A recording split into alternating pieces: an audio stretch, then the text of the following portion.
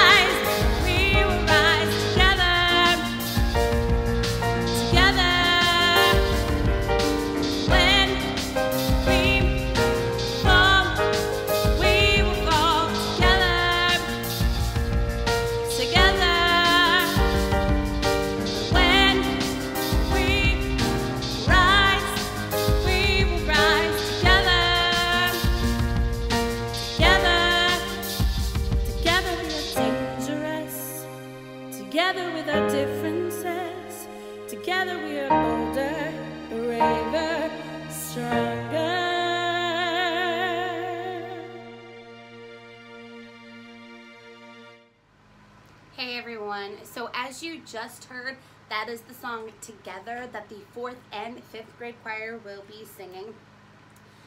To record this, again, you're going to use the same protocol that we used for We're Glad to See You Here and America the Beautiful to create our virtual fourth and fifth grade choir. You are going to need to listen to that recording while recording yourself singing along. So if you're doing this on your Chromebook and Seesaw, again, you're gonna have, you're gonna need two tabs open. You're gonna need a tab open with this link that you're watching right now, and you're gonna need a separate tab in Seesaw to record your video of you singing along. Again, make sure that you have headphones or earbuds in so that we only capture your singing voice in the video recording and not this recording that you're listening to in the background. Okay? You can, as, as we've stated before, you can do this recording on a separate device, but you will need, if you're doing that, you will need two devices. So if you're gonna do your video recording on a phone or a tablet, you will need a separate device to listen to this video link and the song while recording yourself on that separate device. Please, if you have any questions, please reach out because we want as many students to participate, especially you older children, especially your fifth, our fifth graders, because this is your last Riverside event that you get to be a part of and we really want you to be represented.